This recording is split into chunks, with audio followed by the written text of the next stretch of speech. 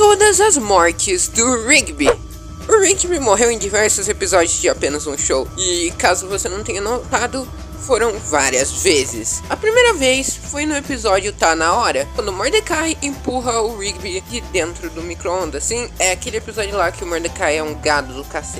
Também teve episódio lá no topo que o Saltitão mata o Rigby sem querer, quebrando ele na mesa. E, e a, é aquele episódio lá que ele tem que fazer queda de braço com a morte. Tem essa cena icônica. Essas foram as vezes canon no show, mas também tiveram as vezes que ele morreu no apenas um show filme e também no final de apenas um show quando eles estão quase sendo apagados por causa da luta do anti-pairulito com pairulito, além do contos de terror no parque.